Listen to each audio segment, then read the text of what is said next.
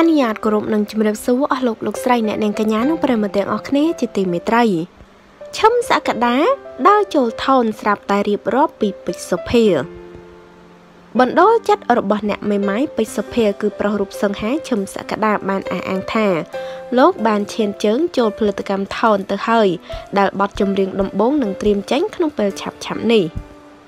សក្តាសារភាពថាការក្លាយទៅជាតារាចម្រៀងអាជីពនៅពេលនេះ គឺពិតជាមានការជួយដោះខាត់ពីសង្សាររបស់លោក ដែលជាតារាចម្រៀងល្បីឈ្មោះពេជ្រសុភាមែនតើបធ្វើឲ្យក្តីសុបិនរបស់លោកคล้ายទៅជាការពិនម្ចាស់ស្នេហ៍ថ្លើមថ្លៃរបស់ពេជ្រសុភាលោកឈឹមសក្តាថ្លែងថាខ្ញុំចូលច្រៀងនៅផលិតកម្មថោនហើយខ្ញុំទៅតែចុះកងត្រាជាមួយថោនកាលពីពេលថ្មីថ្មីនេះប៉ុន្តែខ្ញុំសូមលាក់សិនមិនអាចប្រាប់បានទេថាកងត្រាប៉ុន្មានឆ្នាំ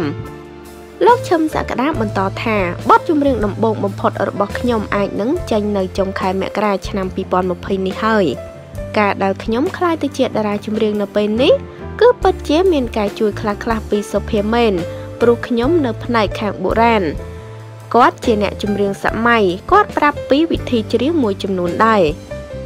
គូស្នេហ៍របស់ពេជ្រសុភាថាមិនហ៊ានព្យាករទុកមុនទេថាអាជីពថ្មីរបស់លោក ជាតារាចម្រៀងនៅផលិតកម្មថោននេះអាចនឹងជោគជ័យដោយអាជីពសម្ដែងនោះទេដោយលោកថាមានតែការខំប្រឹងប្រែងតទៅទៀតប៉ុន្តែអាជីពចម្រៀងនិងសម្ដែង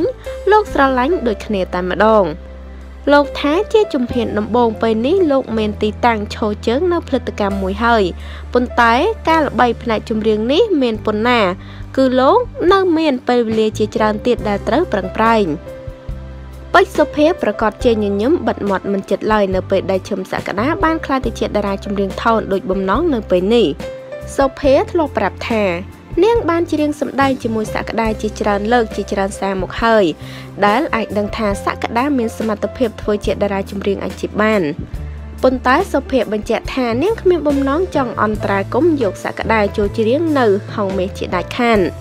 ទៅឥឡូវនេះដោយសម្ដីរបស់នាងនិយាយដោយការសន្យាមែនព្រោះប្រុសក្មេងរូបនេះគ្មានឱកាសចូលជើងនៅផលិតកម្មរស្មីហងមាសដោយងួនច័ន្ទដេវីតដែលសុភា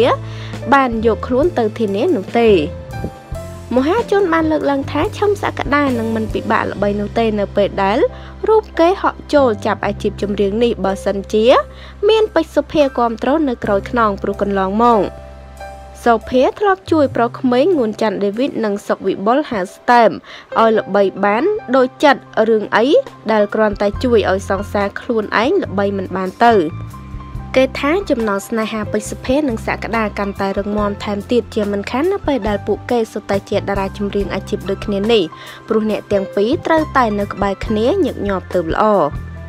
ប៉ុន្តែយ៉ាងណាទាំងសុភេនិងសក្តានៅតែមិនហ៊ានកំណត់ពេលវេលាចូលរោងការជាក់លាក់ឡើយបន្ទាប់ពីពួកគេបាន